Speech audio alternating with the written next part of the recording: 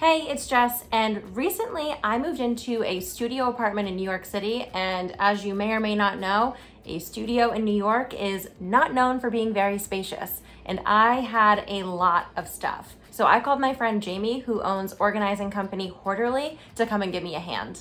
So at Horderly, we have a specific 11-step process that we approach any space with. And it starts by uh, touring the space and prioritizing with the client. Well, I'm pretty much at critical mass of what I can unpack with the space that I have and the storage solutions that I have right now. Um, as you can see, I am still living in quite the disarray. this box is all full of shoes that I just do not have space for. This is all sweaters in here, and this is sweaters in there. What else? My purses and my bags under here, like all of these are just purses. That's more sweaters that don't have a home. We then jump right into it. We fully pull out and sort the space. We really want to start with a blank slate. Before the pull out and sort, we always warn clients that it will get worse before it gets better. So if you're doing this at home, be sure to warn yourself of this to avoid any overwhelm. Seeing all of my clothes laid out in front of me was definitely a little bit stressful. I really felt like I had way too many things. Next, we're gonna edit with the client, deciding keep, toss, donate. This is where we ask a lot of questions. Those are keep. Do you want them with like the summer since Yeah. that's where you had them? Mm-hmm, yeah. We can toss those. Okay. I finally did it. I got rid of one thing. Donate. Keep. Keep, keep. The toss. Or donate, whatever. Your motto. Where are you? Oh, Cover keep. up. Yeah, easy peasy. And keep. Okay, so this one falls in the category that I feel like you probably run into a lot, which is I'm never gonna wear it again, but it's sentimental. Memento. Can go like under the bed. Brilliant. We'll make a spot. Okay. Perfect. So we ended up categorizing Jess's clothes into her everyday hanging, which was coats, you know, tops, dresses, pants, and skirts. Under the bed, we have her off-season clothes and memento clothing, and then in the dresser, all of her folded clothes. One of the many joys of living in New York City is having absolutely zero storage space. And in my case, that's not an exaggeration. There is not one closet in this apartment. I needed a storage solution to put all of these clothes in because my current clothing rack was not cutting it. Luckily, modular closets came in to save the day with a system that fit my space perfectly. Living in a studio apartment means that you really need to make every square inch count. So modular closets came up with a system for the entryway too, where I could store my outdoor accessories, shoes, and stuff for the dog. And then Jamie also helped me organize my dresser, which of course doubles as a TV stand. Our biggest tip in the closet is to streamline all of your hangers to slim felt hangers. This is going to save you a ton of space and completely transform the look of your closet just by simply changing out the hangers. We especially had to do this in Jess's closet, really created a streamlined look since her closet is exposed. So at Horderly we have specific folds that we use. We do use the file fold method in drawers and in Jess's space we did a lot of tight rolling folds just because she's got some shallow drawers. And then when it comes to sweaters or folds that are going to live on a shelf, you want to make sure these folds aren't too thick to where they're floppy and you want to keep stacks as short as possible so that the item is easy to pull out. So to fold a sweater or a sweatshirt or a hoodie for a shelf, you want to look at the item, lay it flat down, and then you want to think of a tri-fold. Um, but you don't want to go all, like too tight. Um, so you want to go in with the left side and then fold the sleeve down and then in on the right side, fold the sleeve down and then usually just one fold is good depending on the depth of your shelf. And if you're folding a turtleneck, you can just fold the turtleneck in. Same thing with a hoodie. The hoodie can just fold in as well.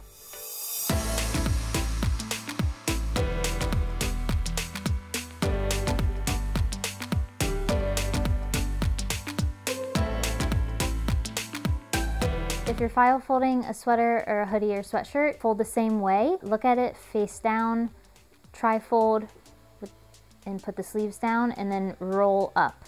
You could do a tight roll or a tri-fold depending on how deep your drawer is. For Jess's socks, we ended up doing a roll as well instead of a fold into each other, just to save space in the drawer as well. So We're thinking about hanging one of these long shelves that she already has above this entryway for her handbags. You can use purse stuffers to stuff your handbags to keep their shape and to keep them standing upright. You can also use acrylic dividers to store your clutches so that they're not falling all over the place and getting damaged. So labeling is key to maintaining space, especially if you live with other people. So in Jess's space, it's just her and her apartment. So we talked about labeling in some areas and then we ended up not labeling in other areas just because we felt like it was going to be easy for her to maintain even without the labels. Labeling's important to maintaining a space. So you not only know where to find something, but you know where to put something back. Labeling really gives each category a specific home. And when it has a home, you're more likely to put it back in that spot. Close your eyes They're closed. and open. Whose house is this? Are you kidding me? Here's your closet.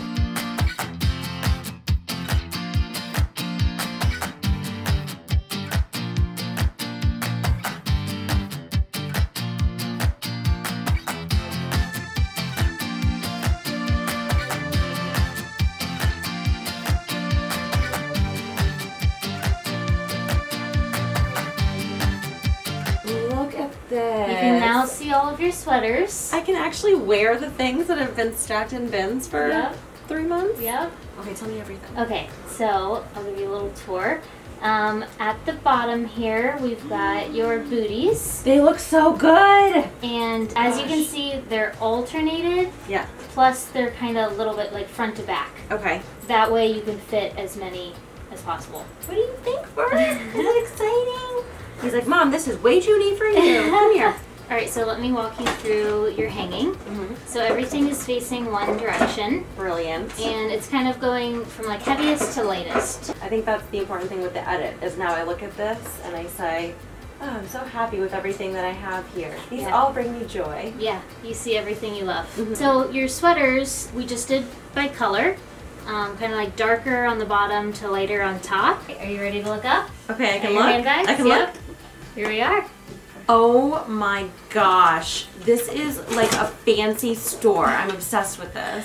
I love uh, the shelf that you already had that we were able to repurpose. It's Yes. perfect for the space. It looks like it was designed for It, it. it does. It does. I love those dividers. They're And- so pretty. This one will cover those pretty ones from like any dust Yeah. or anything like that. Yeah. So this piece that you already had is great because it has storage. We love a, a solution with storage and seating. Yes. Uh, so in here we are just storing your hoodies and sweatshirts. These folds are incredible.